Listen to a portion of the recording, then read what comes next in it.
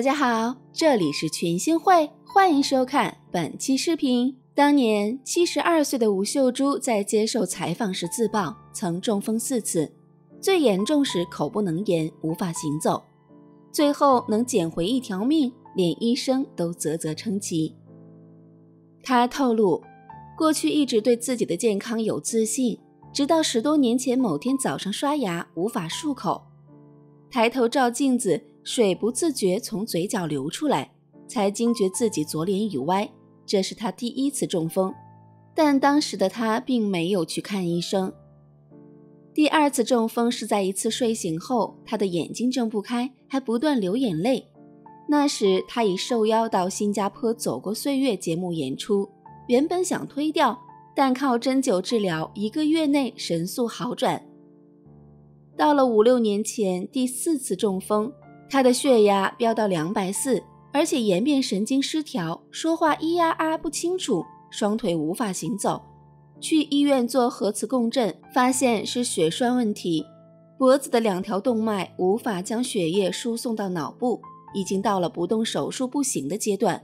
这让他吓坏了。那医生是出了名的动手术不开药，但是开脑，他怕，于是千拜托万拜托不要动手术。医生说不动手术也可以，但要把烟戒了，还要每天走一万步。当时他连走两步路都困难，更何况走一万步。但为了保命，他戒了四十八年的烟瘾，每天凌晨五点和下午五点各走两小时。虽然连话都说不清楚，却仍重拾麦克风到 KTV 唱歌。从一开始的哼歌，到后来完整唱完数首歌。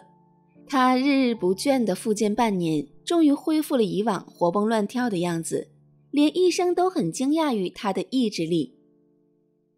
那时，他的新剧《老姑婆的古董老菜单》正在播出。这部剧是一部美食剧，他在里面饰演的林淑美打扮十分精致，留着短发，笑容慈祥。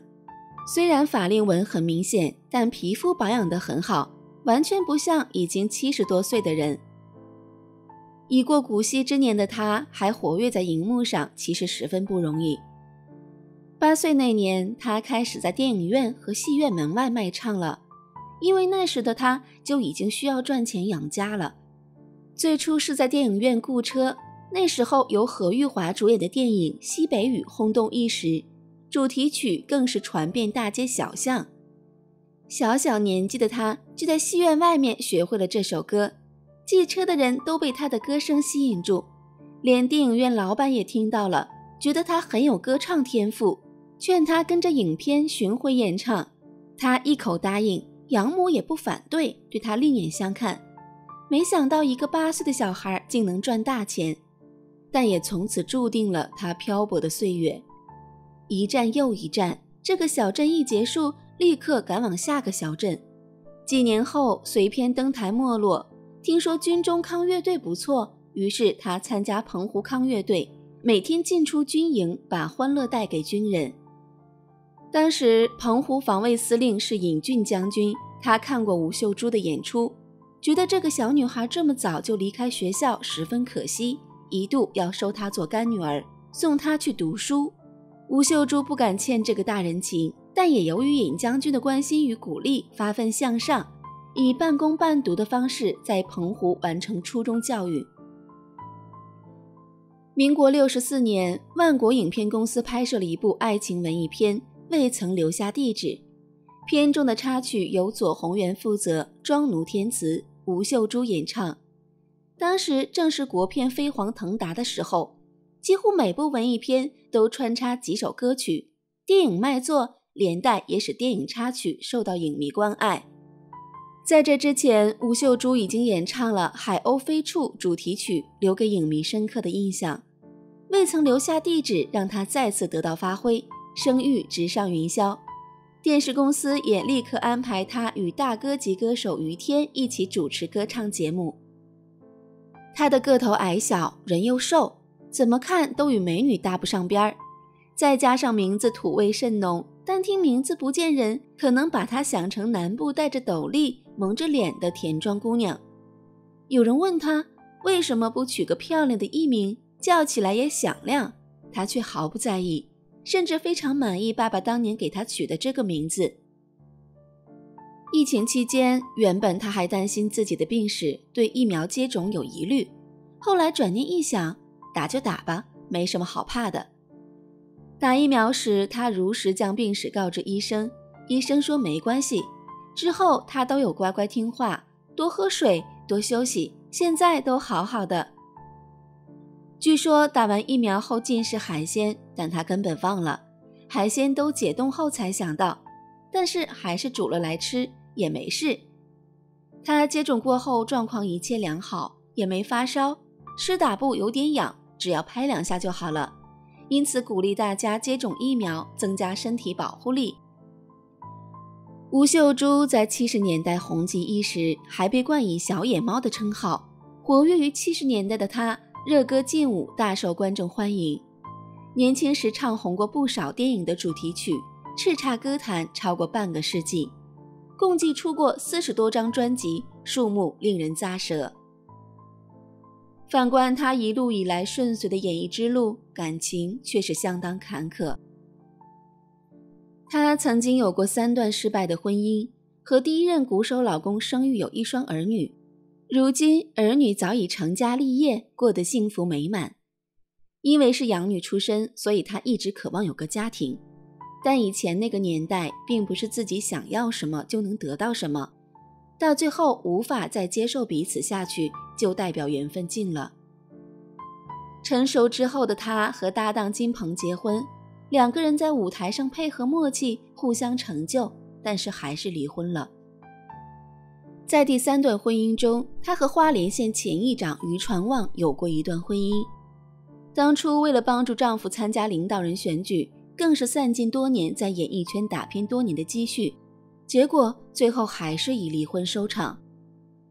一九九八年离婚时，他得出了结论是：钱能爱人，也能害人，并认为一个人比较快活。人的一生有多少朋友都是固定的，曾经相爱过就够了。他形容人生在世，凡事都要留一线，福气快乐不能用到尽。否则，纵使把全天下都给你，又能怎样呢？我无父无母，活到现在，靠的还是自己。一番言语真挚坦诚，令人十分动容。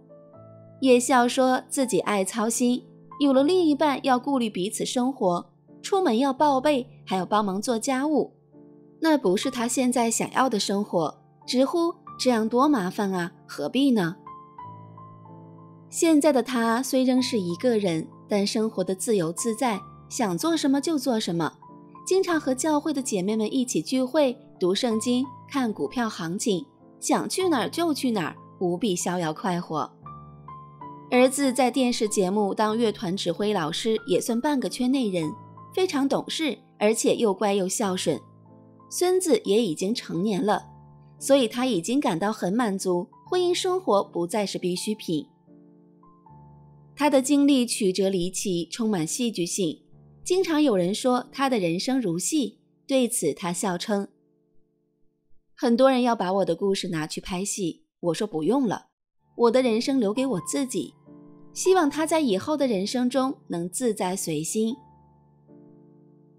他的一生高潮迭起，当年跟着乐团巡回全台戏院，后来歌厅秀崛起，一天赶七间歌厅演出。中间还有穿插录影、录唱片。最忙的时候，早上起床化妆去录影，下午两点半去歌厅演出，晚上十点再赶到录音室录唱片。唱累了就睡在录音室，天天都睡眠不足。天天在外奔波，难免会倦怠。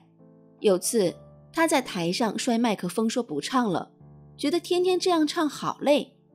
还有一次太累，唱到间奏睡着。手松麦克风滚到观众席，被台下观众捡回来。另一次，他感冒烧声，上台只能对嘴，全靠背后的和音天使帮他唱。他笑说：“真的有够难听。”演艺圈虽然很累，也很开心，我也就这样开心了一辈子。一个人要有这么多回忆，其实也很难。她在华氏老姑婆的古董老菜单中饰演总是怀念过去的千金小姐。但戏外的她却直呼：“我更喜欢现在的生活，比较踏实。”笑说现在天天五点起床，八点和好姐妹们一起念圣经，接着看股市变化到下午一点半，偶尔演演戏、唱歌，过得十分愉快。唱累了就睡在录音室。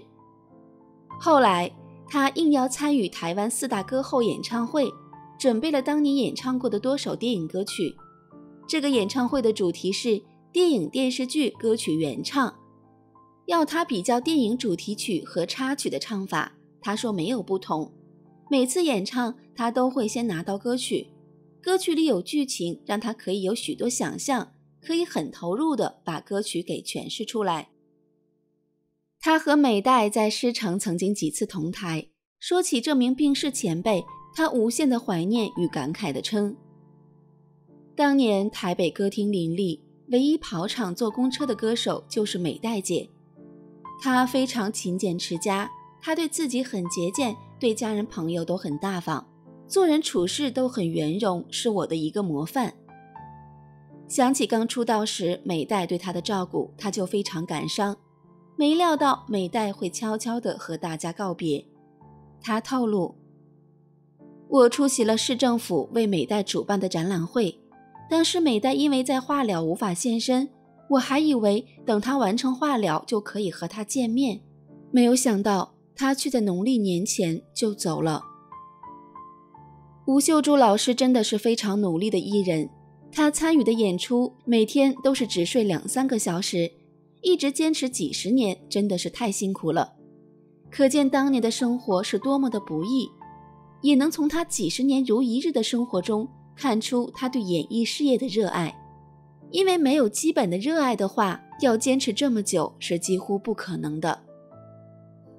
即使不再找对象，他也能从日常生活中找到乐趣，对生活十分乐观。一个歌手最成功的事情是留下多个好作品，即使多年后歌手消失在荧幕中，人们还是能轻轻哼唱出他的歌。很明显，吴秀珠做到了这件事。粉丝们永远都会欢迎他的回归，希望他在接下来的日子里身体健康，万事顺意，继续为我们带来更多更好的作品。今天的故事就讲到这里，祝你每一天都拥有好心情。欢迎在视频下方进行留言，同时大家还可以点点关注，更多精彩内容敬请期待哦。